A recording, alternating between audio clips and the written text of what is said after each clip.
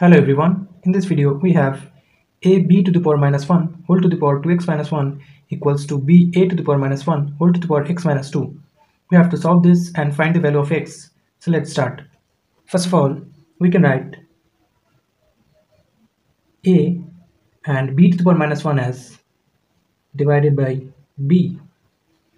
whole to the power 2x minus 1 since b to the power minus 1 is 1 by b so equals to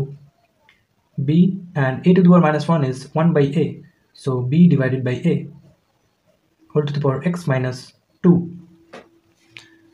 so in the next step we will multiply both sides by a by b whole to the power x minus 2 so a by b whole to the power 2x minus 1 times a by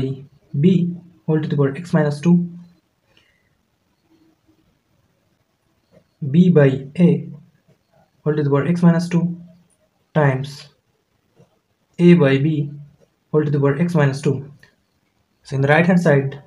both has the same power so we can write b by a times a by b whole to the power x minus 2 so a a gets cancelled b b gets cancelled. So we are left with 1 to the power x minus 2 which is equals to 1 and in the left hand side we can write a by b whole to the power 2x minus 1 plus x minus 2 since we know that a to the power m times a to the power n can be written as a to the power m plus n. So in the next step we can write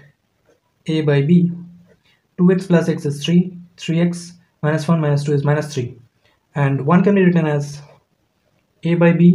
whole power 0 since we know that anything power 0 is 1 so we can write this. So in the next step comparing both sides we can write 3x minus 3